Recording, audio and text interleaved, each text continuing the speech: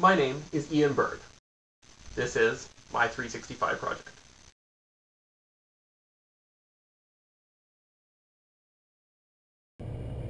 So today I have uh, borrowed a friend's car.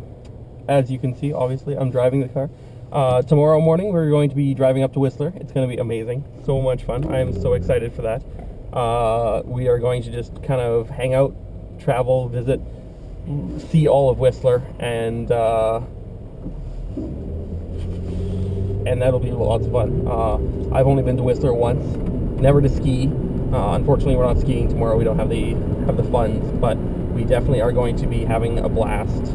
Uh, just checking out the the village and taking pictures and seeing where the Olympics were and stuff like that. So definitely excited for that, and we're gonna get take some really cool, awesome videos all over the place because well, I have a cool mount now, and obviously you can notice it's a really cool angle and it's, built for in a car. Well, it's not specifically built for in a car, but it works in a car like this, and so I'm excited to get some really cool angles. I'm hoping to actually mount it on the outside of the car for a little bit and uh, get some cool shots like that, because hell, it, it works outside, so let's find out what happens.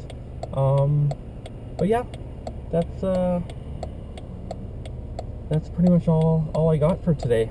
So, until tomorrow, I guess. Goodbye.